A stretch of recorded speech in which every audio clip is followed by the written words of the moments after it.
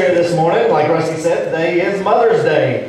Um, so happy Mother's Day, all you mothers that are out there. Uh, it's also a, kind of a day for us. It's kind of, I'm, I'm going to be honest with you guys, it's a weird morning uh, for me as I get up here and stand before you preach because, uh, you know, we have, uh, obviously, uh, Brother Gene was here for so many years and he touched so many of you guys' life. And, uh, and so it's kind of a solemn mood out here this morning. I can just kind of feel it, you know. But then there's also the side of us where it's supposed to be a happy mood uh, because it is Mother's Day. And we have, you know, these pretty nice spring flowers, by the way, with, uh, which Miss Amy had helped decorate the church with and uh, did a wonderful job with that. So, so we have this mood where it's kind of a solemn mood where we don't know, you know, kind of how to feel. Then we have this mood where we're wanting to feel excited and happy and, and, and celebrate. Um, and, and here's what I was thinking as I was sitting there. Um, me be honest with you guys. Uh, I didn't know Brother Gene as well as you guys knew him, but I do know this about him from, from visiting with him and speaking with him and, uh, and phone calls and conversations face to face with him. I can tell you what he would want us to do this morning. I can tell you exactly what he would want us to do this morning. And that is to come and worship the Lord Jesus Christ. Because that's what he was all about. That's what he wanted us to do. And, uh, and I can tell you right now, if he could come back and talk to us right now at this very moment, you know what he would say? He would say, you guys better be worshiping Jesus Christ because you don't have no idea what it's like up here, you know. And so, uh, and so that's what I think we need to do this morning. So there is a sense of this solemn feeling where we miss Brother Gene, obviously, but then there's a sense of life and life more abundantly. And you know, I'm reminded of the scripture. I'm reminded of uh, in Corinthians where Paul talks about, old death, where is your sting?" I get that, you know. I understand that because as Christians, really, old death, where is your sting?" Yeah, we miss Brother Gene here, but you know what? We all know he probably don't miss us right now. You know, I'll just be honest with you guys. And that's an awesome, awesome, awesome thing. So uh, I, I, wanted to, to address that this morning and, and say that uh, because it is kind of a weird morning up here. You know, we have those two different sides. Uh, but I don't, I don't want it to distract us from the Word of God because that's what we're here for and that's what it's all about and that's what it's always all about. And so let's go to the Lord in prayer. Father God, thank you for this morning. God, thank you so much for the legacy that is left at this church by one of your faithful servants, God. God, we see that this morning, and there are times where we have reflected on his life. But God, we reflect on his life because his life is focused on you, God. And that is where we want our lives to be. We want our lives to line up with that. We want to be focused on you in everything we do and everything we say. God, it's a special day as well because are mothers here. And we take one day a year where we especially celebrate mothers. And God, thank you so much for the godly influence of mothers and, and the things that they do for us, God. God, if we are uh, still blessed to have our mothers here on this earth with us, help us to be able to tell them that we love them this morning and, and help us to be able to show them.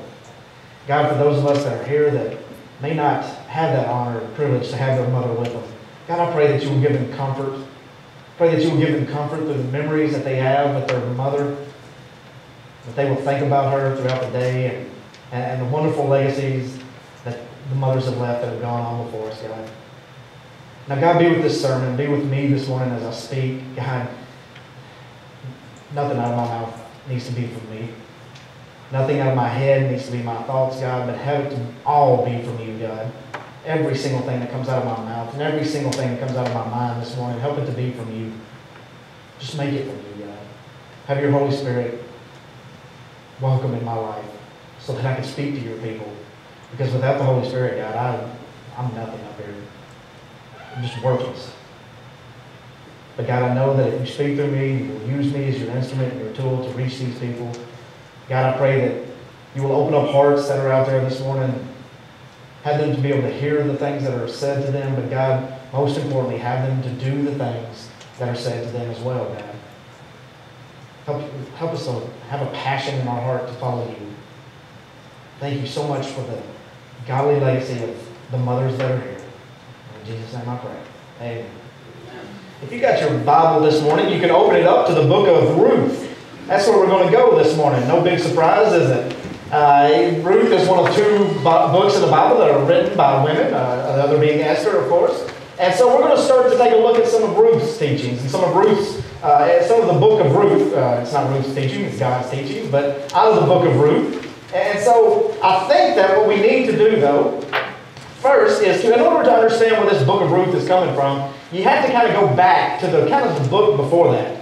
And the book before that is called the book of Judges. And at this time in the book of Judges, uh, we can kind of get a sense of how that this world was whenever the book of Ruth was written. If you go just to the last verse in the book of Judges, Judges 21, 25, if you'll kind of look up at that, and here's a kind of a sense of what it's like. It says, In those days there was no king in Israel, and everyone did what was right in his own eyes. And so you can kind of see, you kind of get a sense and a feel of what it was like in this day. In other words, in this time, it was just wow. There were no kings, there were no presidents, there was no nothing. It was just people did what they thought was right in their own eyes. And it kind of sounds familiar to today, doesn't it? A little bit. But know this, that there was nothing, no ruling, no anything. So it was just a wild society that they were living in. Uh, it was a time of judges whenever, uh, hence the name, the book of Judges. But then you go to the book of Ruth and you find this book and you find kind of a light in the middle of darkness, you know. And you see this story that kind of pops up and it's this, it's this moment of a godly, uh, godly family. One of the most godly families that were uh, around at this time. And you see that this story, this godly fam- family, is moving to this very godless nation. Just a very place where it's dark and uh, a lot of idol worshiping and a lot of uh, just gods, uh, lowercase g. And so they were moving to this area because there was a great famine in the land. And they moved here because they was hoping to find some food. And so we pick it up in the book of Ruth, and this is kind of what is going on. And they moved to this place called Moab. It's a very natural enemy to the Jewish people in that day.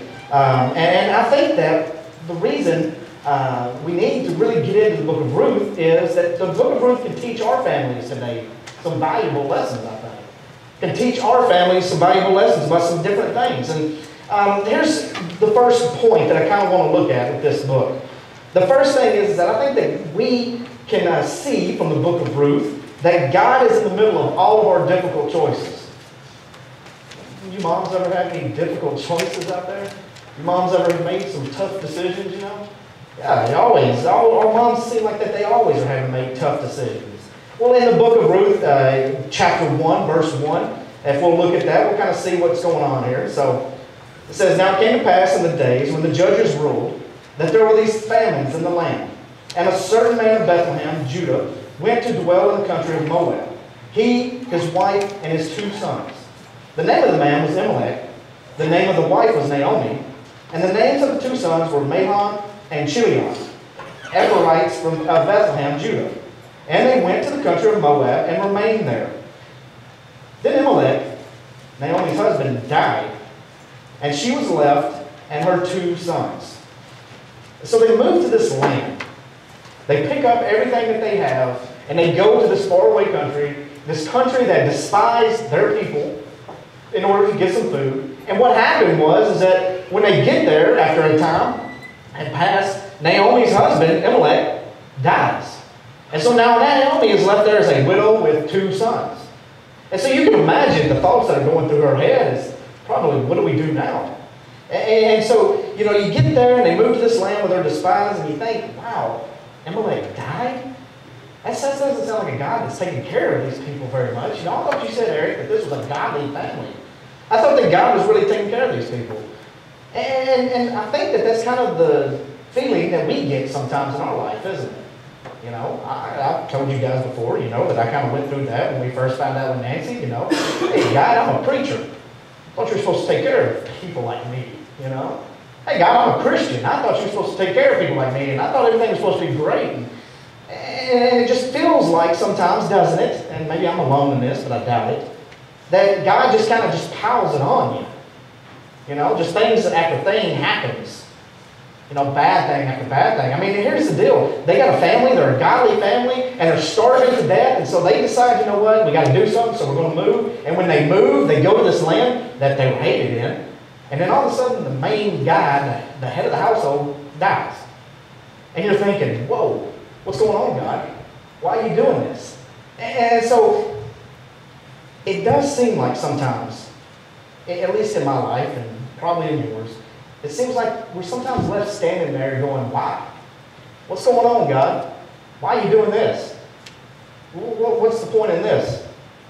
But you see, Jesus kind of addresses this in John chapter 9, verses 1 through 5, he says this.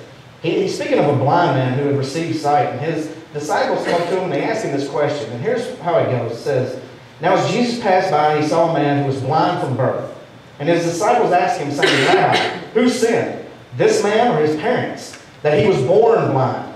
And Jesus answered and said, Neither this man nor his parents sinned, but that the works of God should be revealed in him.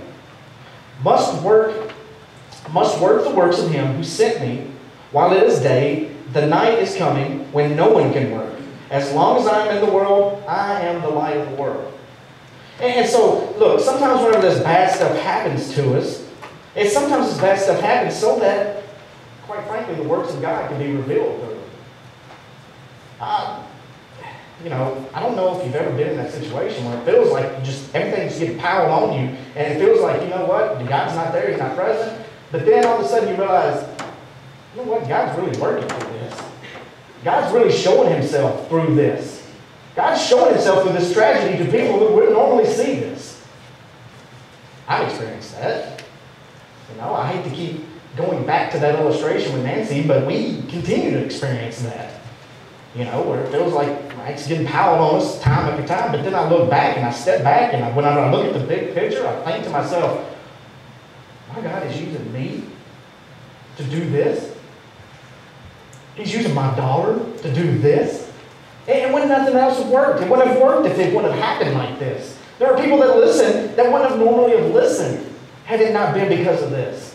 And so I see now what it's talking about here, that the works of God shine through some of this stuff sometimes. And the bad things that happen to you, God uses it to glorify who? Himself. And so we have to remember that as Christians. That sometimes the bad stuff happens so that the works of God can be revealed through that. You see, this is what was happening in Naomi's life here. You see, her family, it was going hungry. Her husband, he dies. We'll go on to read, and her kids wind up dying. You see, sometimes this stuff happens because uh, God's work needs to shine through it. But quite frankly, sometimes this stuff happens too because we make bad decisions. I mean, let's be honest. We put ourselves in a lot of situations, don't we? Now, I kind of was looking at this book and I kind of thought, you know what? I think maybe Naomi and her family, even though they were a godly family, they kind of put themselves in a bad situation here. Here's what happened. It's possible that some of this stuff happened in her life uh, because of the bad decisions that they made. It's possible some of the bad stuff that's happened in my life is because of some of the bad decisions I've made, some of the bad in your life, maybe because of some of the bad decisions you made. You see, they had the choice. They had the choice to either stay or to go to Moab. It was uh, what they did was they made a choice out of their physical hunger, and, and I don't recall reading in the book of Ruth of any kind of prayer to God you know, should we move or should we not? Should we stay or should we go, God? I don't see any kind of spiritual struggle there. What I see is that they just decided, you know what? We got to go. We got to go. We got to take care of ourselves. And so let's go. Now, I'm not saying that, you know, God struck Elimelech down because of this and then he struck her children down because of this. That's not what I'm saying. But what I am saying is that they put themselves in this decision and doesn't look like there was much spiritual thought. And maybe I'm wrong, but the Bible doesn't record it much spiritual thought put into this decision to go. And so the choice to go to Moab was one out of hunger and physical want. You see, there's no reference here in the scripture to this being a decision made consulting with God. And how many times do we do that? We make rash decisions and we make these decisions before we even consult with God. It's possible, it's possible that this stuff happened because they didn't seek God's will in their life. It's possible. You know, we'll read on Ruth chapter 1, verses 4 and 5. It says, Now, talking about the sons. Now they took wives of women of Moab, and the name of one was uh, Orpah, and the other name of the other was Ruth. And they dwelt there about 10 years. Then both Mahlon and Chilion also died, and so the women survived her two sons and her husband. And so we go and we see, you know, Naomi's in a situation now. Now her husband's dead, and now her kids have died. And it just seems like it just keeps getting piled on her, doesn't it? See, but here's the thing. Here's what happens. We do make bad choices sometimes. And sometimes we have to deal with the choices we make, the consequences of choices, you know.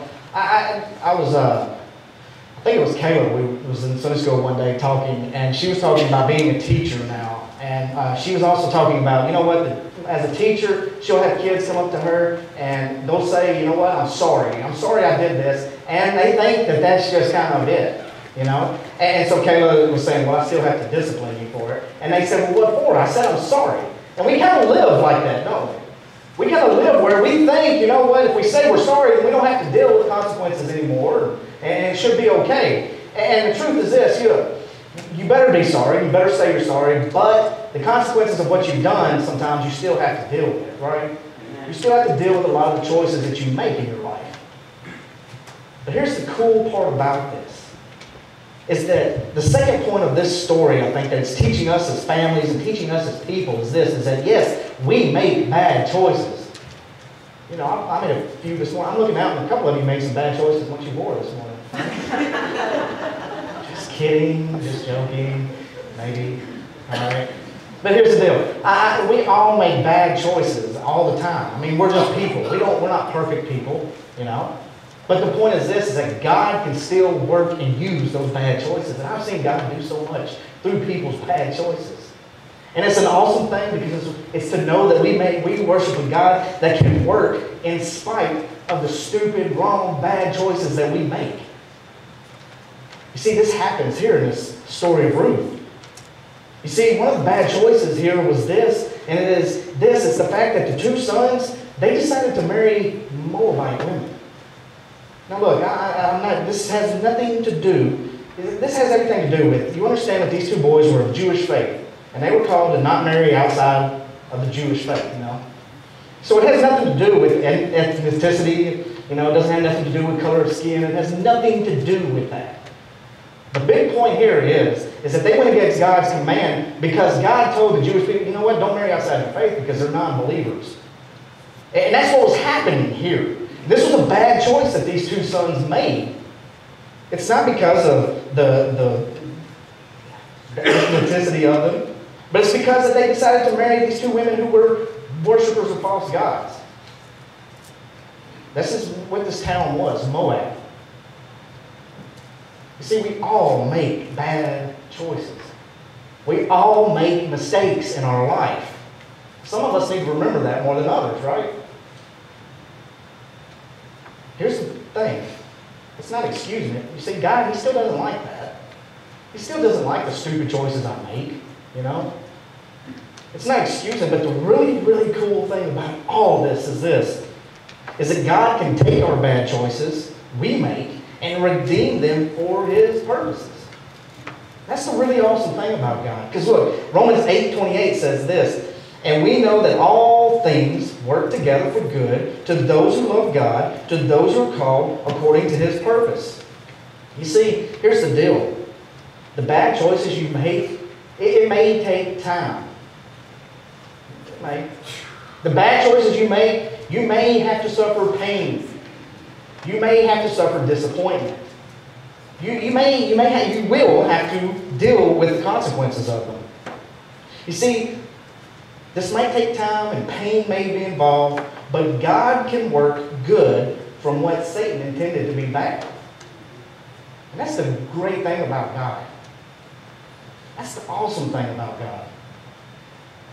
See, don't you think that Naomi, after her husband died and she's sitting in this godless country, and she's sitting there, and then all of a sudden she gets the word that her two sons are now died. And now Naomi's a widow, and she's alone probably. She feels alone, I'm sure, in this godless nation. And she's probably sitting there going, oh, I wish I would just stay home. You know? I wish I would just I wish I would just stay home. Maybe she was thinking up at night, thinking, why didn't I consult with God? Why didn't I seek His will in this? What what is going on? Maybe all this stuff was going through her head. You know? I guarantee you she sat up at night sometimes wondering, God, why me? You know, God, why? Why'd you do this to me? I'm sure she'd sit up at night like that sometimes. Why did all this happen to me? But you see, here's the thing. We have to understand that it's every choice we make, whether it's good or bad, we have a God who is behind the scenes weaving together a story that you can't completely see yet. Think about that. I, have told kids and talking with kids a lot. Um, I, I love this uh, thought. Every choice you make, you're basically building your own house. Every single choice you make, you're building your own house. In other words, every choice you make, you're building your own life out of that choice, right? Everything you choose to do, it affects what you want to become. Everything. But here's the really cool part about that. We worship a God who, despite some of the bad choices we make, He can still use those. He can still use those bad choices and weave together such an awesome, awesome story with your life. Amen. You see, we see that with the book of Ruth. Is he used some bad choices that were made here, but my goodness, what an amazing story that we see that was weaved out of this. We'll see it in a little bit. So, Dave Stone, I mean, yeah, I'll quote him as saying this. I, I like this quote he says. He says, God doesn't control our choices, but our choices become the threads which God weaves. That's really cool. You know? That's a really neat saying. Is that God doesn't control our choice, but our choices become the threads which God weaves. And so know this. Look, here's the deal. A lot of people come in here maybe this morning and thought, you know what? It's too late. I've already made a bunch of bad choices in my life. Maybe a lot of you moms come in here, you know. And, maybe some of you moms are sitting there thinking, man, I made some bad choices in my life, Eric. You don't understand. But here's the deal. Know this, that it's not too late for God to work despite some of those bad choices, you know? Because here's the third and last point that I wanted to make. Is that despite us making bad choices and God, He's able to use that, know this is that God will still lead us in our important choices that we make. He can still lead you and I in important choices that you have. Ruth, verses 6 through 18 here. Here's what it says. It says, Then she arose with her daughters-in-law, that she might return to the country of Moab. Uh, for she had heard in the country of Moab that the Lord had visited his people by giving them bread. Therefore she went out from the place where she was, and her two daughters-in-law with her. And they went on the way to return to the land of Judah. And Naomi said to her two daughters-in-law, Go, return each to her mother's house. The Lord deal kindly with you, as you have dealt with the dead and with me. The Lord grant that you may find rest, each in the house of your husband. And so she kissed them, and they lifted up their voices, and they wept. And they said to her, Surely we will return with you to your people. But Naomi said, Turn back, my daughters. Why will you go with me? There are still sons in my are there still sons in my womb that there may be your husbands? Turn back, my daughters, go, for I am too old to have a husband. If I should say I have hope, if I should say I have a husband tonight and should also bear sons, would you wait for them until they were grown? Would you restrain yourselves from having husbands? No, my daughters, for it grieves me very much for your sakes that the hand of the Lord has gone out against me. And they lifted up their voices and they wept again. And Orpah kissed her mother in law, but Ruth clung to her.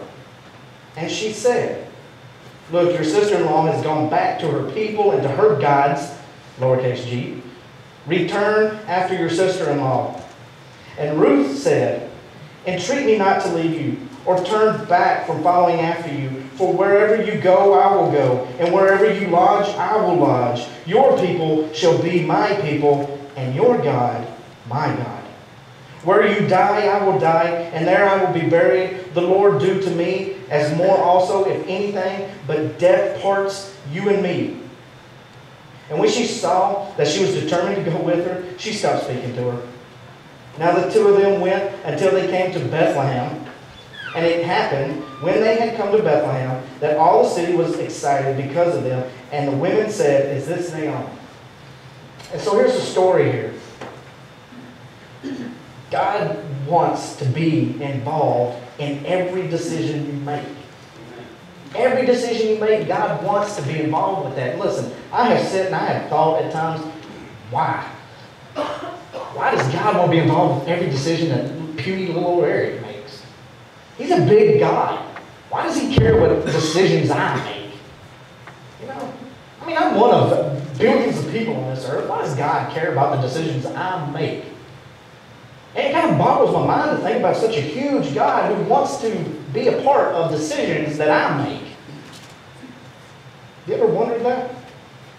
You ever wondered why God wants to be a part of the decisions that you're making? Here's the answer. It's because He's a personal God. And He cares about every single detail of your life. He loves you. And He cares about you.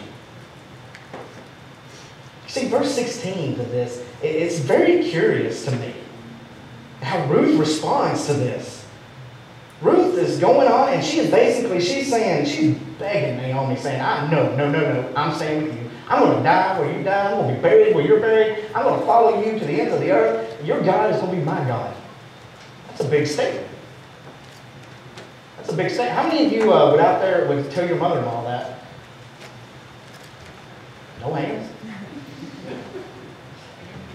I don't I don't know if I would. My mother-in-law's not here, so I can say that. But Ruth is going on and she's saying, hey, I'm going to go with you. And it kind of it's curious to me as to why does why does she go with Naomi? Why does she not just go back? Here's the reason, I think. I think that what happened is that Ruth had seen in Naomi what a Christian woman was supposed to be like, you know? Ruth had seen something in Naomi that she hasn't seen anywhere. Ruth saw something in Naomi that she did not see in the women in her godless country. You know, maybe she had seen every single thing that Naomi had just been through. All the heartache, the loss of a husband, the loss of children, the going hungry. Maybe she looked at Naomi's life and she had seen this, and but what she noticed in Naomi's life is that even though she went through all of this, she still clung to her God, capital G. And you see, Ruth saw that in Naomi. She saw something in Naomi that she had not ever seen before.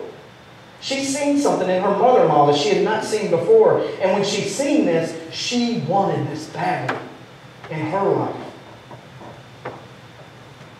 See, many of you maybe maybe you've seen something in Brother Gene's life that you've never seen before. The kindness and the compassion. You know? Maybe it was all of this that you've seen in Brother Gene's life that had caused you to love and adore him like you have. Let me tell you what you saw in his life, and let me tell you what Naomi or Ruth saw in Naomi's life. They saw God. They saw a person allowing God to work through them. And you know what happened? The same thing happened with Ruth and Naomi as maybe it's happened with you and Brother Gene, is you want that. You want to be that. You crave to be that. There's something inside of you that you know you were made to be like that. Brother Gene wasn't perfect. He had his flaws. Naomi wasn't perfect. You see, she some bad choices. But here's the thing the bad choices that they make, they worship a God who can work through those bad choices. And still allow God to weave their life together through bad choices that they make.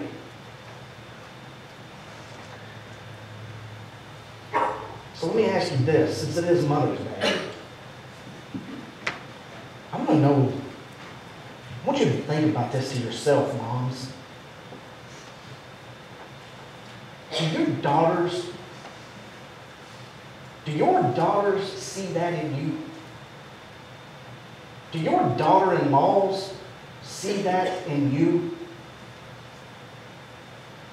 Do they see a life full of God? Do they see a life full of purpose and passion for God that they too have to have. That they too have to know and they have to be a part of it and they will follow you to the ends of the earth because of the God you worship. Do they see it in your life so much so that they say, you know what? Your God will become my God. Do you see that? Do you see that, daughters and your mothers?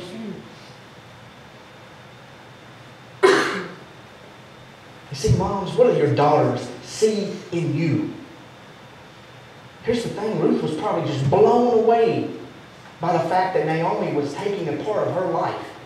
that, that she was taking involving in Ruth's life and that, that she didn't just say, all right, I'm gone.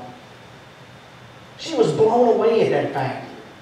Moms, are your daughters blown away by the fact that you take involvement in their life?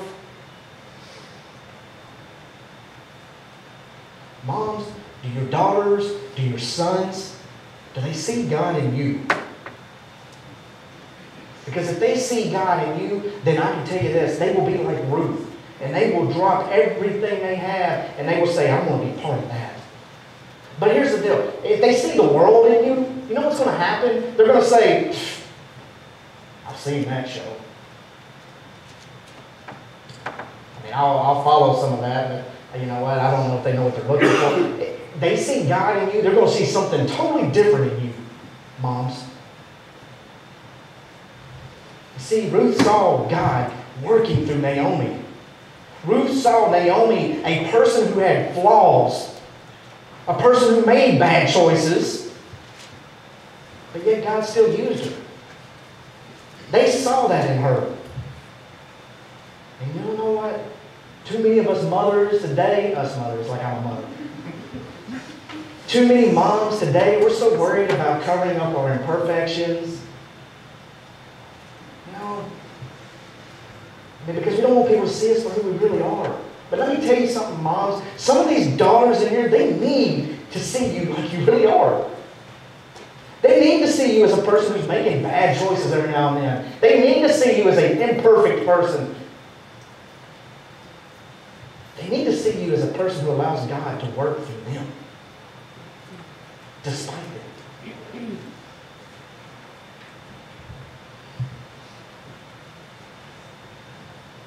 See, that's what happened here is that Ruth was blown away probably because Naomi had taken an interest in her life. and she wanted that. And so through Naomi's friendship with Ruth, ultimately what happened was that Ruth found God. Through the friendship of Naomi. Have you ever thought about this? The consequences of this story right here are so heavy. What would have happened if Naomi had had all this stuff happen to her and she would have just left quietly in the night and Ruth would have went back to her gods, lowercase g? What would have happened in that sense? You see, God used Naomi and her imperfections to lead Ruth to a life of God. And here's the deal look, I don't know if you know this, but Ruth wound up being the mother of Obed, which was the father of Jesse, which guess what? Was the father of David, King David, by the way. Which, uh, by the way, Jesus Christ, bloodline comes through who? Do you see how important and heavy that this story is? And it all goes back to one little old woman, one little widowed woman who chose to allow her daughter-in-law to view her imperfections. So moms, who are you letting see your imperfections? It's okay. It's okay to let them see your imperfections. Because you know what? It can be just like this. It can happen just like this story happened here, is that your imperfections can lead somebody to Jesus Christ. But here's the problem with moms. We are not allowing that in our life anymore. We use so much makeup to cover up everything now. We don't want anybody seeing our imperfections. So what? Because through your imperfections, there can be a lot of people who see God work through you. Amen. You gotta allow that though. Because God can use your imperfections, He can use your bad choices to weave together a story that is unbelievable. He used it right here with Naomi. You see what he did? He used her imperfections to weave together a story, by the way, which brought us the Son of God, which brought us salvation, which brought us life everlasting. See, I don't think that a lot of people realize how important Naomi was. And I don't think a lot of mothers in here maybe even realize how important they were.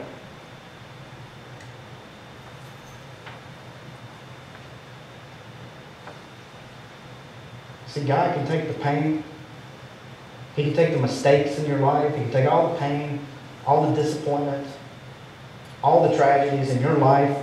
And here's what He can do, moms is He can make something great out of it. So thank God for moms, you know? Thank God for mothers. Thank God for godly, God-fearing mothers. But my challenge to you, all moms, is this, is that quit trying to hide your flaws so much. Because the younger generation, we need to see that sometimes. We need to know that you weren't perfect. That's a lot of pressure on the younger generation. Do you know that? To look at you guys sometimes and see that you're perfect and you're sitting here with, with everything just lined up just right. You know, and what we didn't see is the time when you were maybe our age and it was hard. You need to know that that was going on in your life. Because a lot of times what we look at and we see now are perfect moms out here. That's a lot of that's a lot of pressure to some of these young ladies. They think that they gotta be perfect too. See, God, God doesn't, God, God's already taken care of the perfect part, okay? He just wants to use you like you are. He wants your imperfections to teach someone else. He wants your imperfections to draw them closer to Him. So, moms, we love you. We praise you. But let Jesus Christ work through you so that we can all see it. We can all follow Him. Let's pray. Father God, thank you so much for the mothers that are here, God. Thank you so much for the godly influences, God. As I sit and as I look out among the crowd and I see all these mothers here, God, and I look at all the influences that they have. I look at the younger mothers who have little kids running around them and the amount of influence that they have in those lives, God. God, I look at the older mothers that are here, and their little grandkids that are running around here, the amount of influence that they have on their lives, God.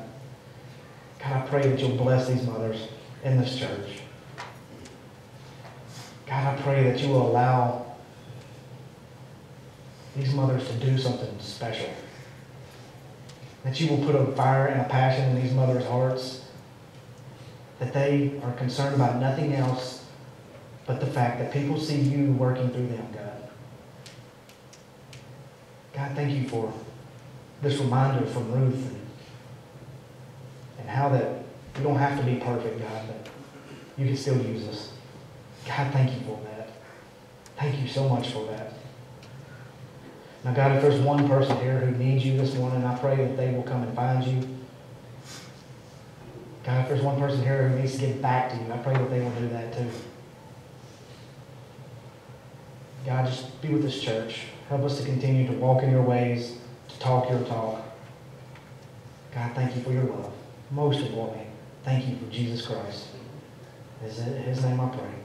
Amen.